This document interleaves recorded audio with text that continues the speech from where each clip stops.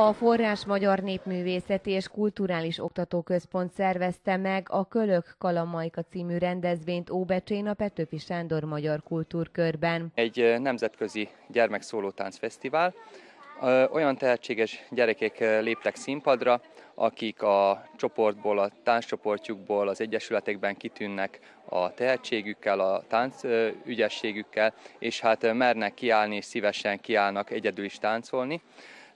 Ezek a fiatalok Horgosról, Szabadkáról, Zentáról, Újvidékről és Magyarországról, Békés Csabáról, illetve Szarvasról érkeztek, velük együtt az óbecsei táncosok is színpadra léptek. A szólótáncosok fellépése után a gyermeknéptánc együttesek bemutatóját láthatta a közönség. A programot Párja Nincs címmel az Óbecsei Néptánc Egyesület szervezte meg.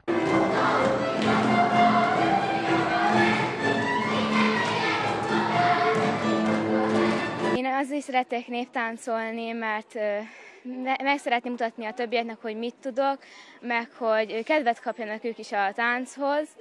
Meg nagyon örülök, hogy most újra bírunk fellépni, mert nagyon sokáig a koronavírus miatt nem bírtunk fellépni és boldog vagyok, hogy ilyen közösségbe lehetek. Szeretek fellépésekre járni, mert szeretem ezt a ruhát, ezt az öltözetet, és hát nagyon hiányzott a tánc, mert ugye én tavaly nem bírtam jönni, mert ez a helyzet miatt. Én körülbelül két és fél éve táncolok, azért szeretem, mert jó a társaság, sokan vagyunk, és szeretek táncolni és énekelni.